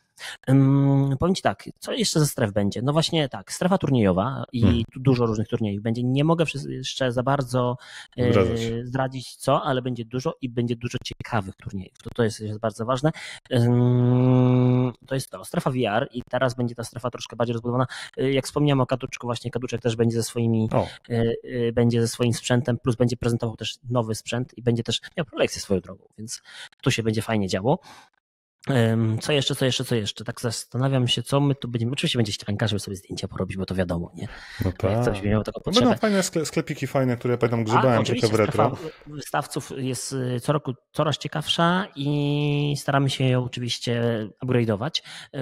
Commodore Amiga, czyli chłopaki, który zina swojego y, Commodore Amiga Plus tak jest. E, którego polecam, warto, warto go zbierać, bo to wiecie, to jest taki zin, to jednak wydawanie tego to jeszcze trudniejsze niż wydawanie PSX-a, bo tutaj Och, no jednak to, jest, to się robi bardzo, bardzo, to już jest bardzo fanowskie i bardzo takie e, taka gazetka, która jest, no, no jakby tam jeszcze papier podrożał kilkukrotnie, to mógł być problem z wydawaniem tego, tego typu gazetek. Bo Potem jest ślicznie wydany, bo ja czasem kupuję, raz, nie, no, raz na kwartał wychodzi chyba, tak? Tak, oczywiście, tak, okay. tak, tak, tak więc, więc wiadomo jak jest. Co jeszcze mogę powiedzieć? Y, rozmawialiśmy o tych neoretro sprzętach. Na pewno będzie cała strefa neoretro. O. Będą plug and play. O, to są w ogóle ciekawe sprzęty. O tym muszę parę słów powiedzieć. Czyli plug joysticki to... albo inne manipulatory, tak? Y, I tak i nie, tylko że to są generalnie kontrolery, które część, w większości mają w sobie już jakąś konsolę wbudowaną, wiesz? To mhm. jest w ogóle ciekawe. Czyli masz na przykład taką konsolę, która y, jest joystickiem, a ma w sobie grę na przykład księżniczka Disneya jakaś na przykład, bo okay. to często było na licencji jakieś. Mhm. Tak, jak to weźmiesz do ręki, wykonane jest nieźle, jak takie, za, takie dosyć solidne zabawki, takie półkę wyżej niż takie zwykłe, standardowe, supermarketowy sprzęt, ale zaletą tego jest to, yy, że często gry to są, wiesz, takie toporne gry, wiesz, w większości wypadków to nie są dobre gry, ale zaletą jest też to, że one mają taki mocny sznyt właśnie tego, tych 16 bitów. Yy, na przykład jeden, jedna z gier to jest przygody kapitana Jacka Sparrowa, czyli wiadomo, Piraci z Karaibów i masz yy, kompas ten właśnie z Piratów z Karaibów, który sobie otwierasz i masz kontroler. Gra jest absolutnie tragiczna. Okay. To, takie, to takie piraci, tylko taka bardzo słaba wersja piratów. Yy, jak ktoś grał na Amidze w Piratów, to wie. I bardzo, bardzo, bardzo jest tak, wydaje mi się, że deweloperzy nawet nie grali w, w, powyżej trzeciego etapu, bo ta gra po prostu nie bierze jeńców. Tam już Soulsy to przy tym pikuś. Po prostu tam się nie da w tą grę grać. Jest tak dużo przeszkadzajek, tak dużo problemów w tej grze i to chyba tak specjalnie jest zrobione, bo wiesz, to zabawka dla dzieci. Jasne. Cała to... strefa właśnie z playami. E, co jeszcze? E, nietypowe kontrolery, czyli gitary, perkusja. W tym roku może właśnie chcemy cały zestaw Pistolety. Oczywiście, różne, różne konsole z różnymi. A bongosy jakieś, wiesz, Samba de Amigo. Bongo... Tak. Nie, y, już, ci, już ci tutaj tłumaczę. Bongosy to jest Nintendo GameCube, a mhm. Samba de Amigo to są kastaniety. To Dreamcast. Do Dreamcasta tak jest, ale niestety kastanietów nie mamy, bo w tej chwili są wysoce niedostępne cenowo. Mm. Ponad tysiaka kosztuje taki zestaw wow. Samba Amigo. Jest problematyczny, ale będziemy mieli coś nowego. Będziemy mieli w tym roku, już testowaliśmy to na przykład na Sylwestra, na PlayStation 2 będziemy mieli Taiko Drum Fest, czyli okay. Takie te japońskie bębny, oczywiście w formie konsoli, czyli znaczy w, w formie kontrolera, bęben, no, które sobie pałeczkami uderzamy w rytm. Gra rytmiczna oczywiście, o to fajne, to potestuję. Tak, tak, tak, tak. Ciekawe, ciekawe rozwiązanie. No i oczywiście masę sprzętu, które jeszcze, jeszcze jest w trakcie dogrywania, bo nie wszystko się uda załatwić. Mamy, albo będzie się uda naprawić, bo też mam cały karton sprzętu, który muszę do niego jeszcze mm. przyłożyć się, posiedzieć, poustawiać. Niektóre rzeczy się nie da poustawiać już, no bo się już coś się porozpadało, albo wiesz, jak masz konsolę, która ma 30 lat, to często jest tak, że te plastiki samoistnie się zutylizowały i klejenie ich za bardzo nic nie da i trzeba to improwizować niestety. Jasne. Tak jest na przykład z kierownicami starymi często. Czyli co, zapraszamy Retrosfera e, Wol 6 w brzegu 13-15 września. Wszyscy są mile widziani. E, więc to będzie impreza. No ja myślę, że to będzie najlepsza impreza retro w tym roku. A może i w przyszłości. Zobaczymy. Chyba do tego dążymy, tak? Wszyscy razem. Oczywiście, jak najbardziej. Super. No dobrze, słuchaj Andrzeju, powoli zbliżamy się do końca, bo Stary Ekstra ma taką formułę, że wiesz, godzinka z hakiem na spokojnie pogadać. Ja chciałem bardzo dowiedzieć się o ciebie więcej właśnie o, jak to ładnie nazwaliśmy ten odcinek neoretro, może też o retro, ale o tych skalerach i o tych rzeczach związanych z puszczeniem sygnału ze starej konsoli na nowym wyświetlaczu, jakbym tak to ujął. E, co jeszcze na koniec? Może, może, może na koniec chcesz coś z popkulturki? Coś polecasz fajnego? Co zobaczyć? Coś ci co ujęło? Albo na co czekasz? Mm, tak się właśnie zastanawiam. Co ja ostatnio oglądałem? Serial oglądałem koreański na Netflixie. Troszkę, troszkę w stylu Squid Games. Mm, tylko nie pamiętam teraz tytułu, ale czekaj, ja tu mam internet, zaraz sobie zaraz ci powiem. Ja się w międzyczasie ciebie spytam, czy wiesz, że w, już w październiku wychodzi Tomb Raider The Legend of Lara Croft na Netflixie anime. Wygląda kapitalnie, bo puścili trailer. Dosłownie oglądałem chwilkę przed nagraniem. A 29 sierpnia wychodzi anime Terminator Zero. Wyobraź sobie e, Dzień Sądu, czy jak zwykle w moje urodziny. Więc no. to myślę. Dosyć... The Eight Show, tak, The Eight Show, tak się nazywa, taki koreański, koreański okay. mm, serial o spukanych ludziach, którzy są zamknięci w dużym, w dużym ośrodku, no ale nie ośrodku, takim powiedzmy, że nie wiem, hali. Mhm. Każdy dostaje swój własny pokój i muszą robić różne zadania. Do tego są, jest oczywiście jest mm, czas, który nieubłaganie leci no ciekawy, trochę taki Squid Game'owy, bardzo czuć ten vibe właśnie Squid Games, yy, brutalny na swój sposób. Zresztą, to zachęciłeś. Warto zobaczyć, chyba też 8 odcinków, jak się myli nie, kino koreańskie nie jest dla każdego, bo ta jednak ich estetyka jest troszkę inna niż kino europejskie, czy tym bardziej kino amerykańskie, ale warto zobaczyć, bo show jest całkiem fajne. Miejscami tak w połowie jest lekka dłużyzna, Mo można byłoby jeden odcinek usunąć, ale generalnie ja się bawiłem całkiem nieźle. E, a, co jeszcze ostatnio widziałem? No oczywiście ostatnie ten, ostatnią, yy, ostatnie show yy, Sony widziałem, bo to bardzo ważne dla mnie, bo A, w końcu... oczywiście, ja, ja, też mam notatki do następnego odcinka Starego Gracza, żeby omówić. No, powiem Ci szczerze, że dawno się tak nie wynudziłem i nie potrafiłem zrozumieć, jak można zrobić show, nie pokazując niczego interesującego. E, już Konami mnie bardziej zainteresowało później. Nie zgodzę się do końca. Podoba się, tak? Mm, wiesz co, czy mi się podobało? Podobało mi się dwie, trzy gry, które tam były i jedno, na jedną się mocno zdziwiłem, bo myślałem, że to będzie zupełnie inna gra, czyli ta pierwsza gra w stylu Guardians of Galaxy. Nie pamiętam tytułu teraz. Concord, czekaj, czyli Concord, tak kolejny jest. hero shooter. Ja byłem przerażony, że oni coś takiego robią z tego. No bo po co, nie? Po co? To po co dzisiaj? Tak, gracze tego nie chcą, ale to są wiesz, skutki decyzji czy też prowadzenia Sony przez Jima Ryana moim zdaniem. Bo ja kiedyś gdzieś czytałem, słuchaj, że de facto nie, gadałem z kolegą z branży na Digital Dragons, on mówił, że realnie od decyzji po produkcji dzisiaj takie tytuły AAA to jest 6-7 lat, czyli to by się zgadzało z tym, że wiesz, coś co zostało podjęta decyzja w 18-19 nagle dostajesz finalny efekt, który tak nikt nie będzie chciał grać. Zobacz, wyszedł X Defiant w zasadzie przed chwilą, nie? Ubisoftu. Mówią, że jest dobra gra, ale już podobno więcej ludzi dalej gra w Valoranta i w tego, The Finals, nie? Więc po no co tak, nam no kolejny tak. taki, wiesz, hero, looter, shooter? Nie wiem. Ja się z Astrobota bardzo cieszę, wiesz? Astrobot spoko. No Astrobot to... tak, bo to wszyscy się z tego cieszą. Dobra, to jest ta jedna gra, która mnie zachwyciła, ale to nie, nie jest no, system no Silent Hill jeszcze, wiesz? Jeszcze Silent Hill, tylko że Silent Dajesz Hill... szansę, tak? Ja tak, ja całe moje serduszko, wiesz, ja tą grę kupuję z taką, jaką jest. Jak ją przejdę, to wtedy będę mógł powiedzieć, czy ona była fatalna, czy była dobrym remake'iem na szczęście, powiem Ci, ja, mi się też trochę podejście do tego wszystkiego zmienia. Mhm. Zostaje nam zawsze dostęp do oryginalnej gry. Jak komuś się nie podoba remake, jak y, będzie, okaże się, że on będzie bardzo zły, bo tak, a nie mhm. inaczej się mhm. wydarzyło, to zawsze możemy sobie odpalić, jeżeli mamy taką możliwość, wyciągnąć te nasze PlayStation 2, wziąć sobie odpowiedni skaler, podłączyć do telewizora i grać w oryginalną grę. Nikt nie broni tego przecież. Więc jeżeli zepsują ten remake, to oczywiście będzie mi smutno z tego powodu. Znaczy ja też chętnie ale... zagram, bo, bo czekam na ten remake. przejdę, wiesz, tak. obowiązkowo co, bo, bo, bo de facto potem mieliśmy przecież Konami ten Transmission, Silent Hill Transmission, gdzie pokazano więcej tak. gameplayu. Nie wygląda to źle. Ja rozumiem, że może były takie nie inne decyzje artystyczne, jeśli chodzi o główne postacie i inne postacie, które spotykamy w grze. Okej, okay, zobaczymy, jak to wyjdzie w praniu. Chętnie, brakuje mi dobrych horrorów. Na pewno nie chce mi się grać w Until Dawn Remake, nie wiem po co on powstaje, bo to dalej dobrze wygląda. Przecież to jest gra z 15, 14 strzelam teraz na PS4.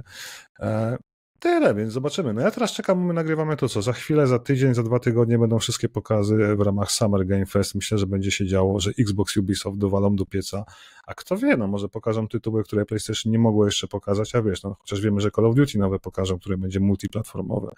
Xbox prawdopodobnie powie, że wszystko wychodzi na PlayStation, nie? Prędzej czy później, no bo oni już idą mocno w multiplatformowość i tak dalej, i tak dalej, więc ciekawe jest, jak to będzie. No dobra, Andrzeju, to, to co, to nie ma co przedłużać. Ja tylko powiem na koniec, słuchajcie, jak będziecie na Pixel Heaven, uzbroiłem się w końcu w te RODE, wiecie, przenośne, przenośne mikrofoniki, czyli nadajnik, tu mam jeden nadajnik, to zobaczcie, jak to w ogóle fajnie wygląda, że to się wkłada tutaj, super, nie, do tego. Super, genialny gadżet. To jest genialny, genialny gadżet, genialny. tak, wszystko działa do 100 metrów, to oczywiście jest przesadą, ale wiecie, no chodzi o to, żeby nie mieć tych kabli przy sobie, więc można chodzić wywiady robić. Obserwujcie socjale starego gracza, bo ja tam będę rzucał wszystkie krótkie migawki, rozmowy, kogo spotkam, tego będę nagrywał. No i tak nie będzie tego chciał, zobaczymy, co z tego wyniknie. Oczywiście. E, i, no i przybijajcie piątkę, tak? A jak będziecie grzeczni, to wam dam, zobaczcie, takiego pinsa starego gracza sobie zrobiłem, parę sztuk testowych. Trzymaj dla mnie takiego jednego. Trzymaj, trzymaj. Ale transfera ja trzymam specjalną pulę mam dla wszystkich zaangażowanych. Świetnie. Naklejeczek to mam dużo, to wiecie, to, to każdemu dam kto chce, ale pinsy są bardzo limitowane. Więc my się widzimy na Pixel Heaven dosłownie dwa dni po tym odcinku. Ciebie, Andrzeju, nie będzie, prawda? Tym... E, wiesz co, ja mam tak, ja mam w sobotę urodziny teściowej, bardzo ważny dzień, jeszcze jestem w pracy, a ja w piątek... Uciekł.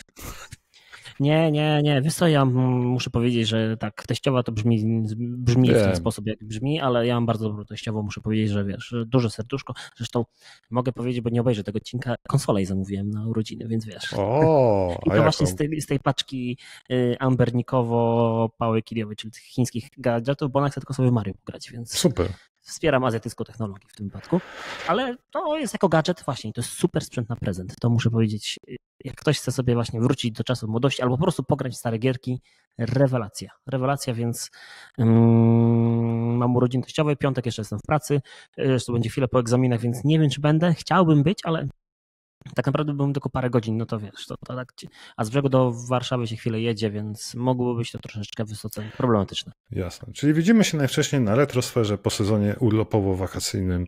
Mm. E, Albo w międzyczasie gdzieś oczywiście na wideo w internecie, to też niewykluczone. E, pamiętajcie na koniec, żeby słuchać Grysława, oczywiście zapraszam serdecznie i polecam, bo ja słucham. E, co jeszcze możemy polecić? Pamiętajcie o Retrosferze. E, link, link do zrzutki w opisie odcinka oczywiście. No i cóż, pamiętajcie o tym, żeby oczywiście śledzić socjale Starego Gracza, linki w opisie odcinka albo na starygracz.pl. Pamiętajcie o grupce dyskusyjnej na Facebooku, która jest już tak aktywna, że ja nie nadążam z czytaniem tych postów, staram się może moderować, a tak jak ktoś zgłosi, to wtedy usuwam e, treści, które są niepożądane ewentualnie. E, I, i, i co? Zostawcie komentarz pod tym odcinkiem na YouTube, dajcie łapkę w górę, napiszcie, czy Wam się podobało, o czym chcielibyście posłuchać. Andrzej pewnie chętnie kiedyś wpadnie i też się o retro, Jasne. o technikaliach zawsze, nie? No pewnie, e, tak. Tak, więc z Wami oczywiście był Andrzej Muzyczuk. Dziękuję bardzo. I Rafał Szychaszkowski. Do usłyszenia następnym razem. Cześć. Pa, pa.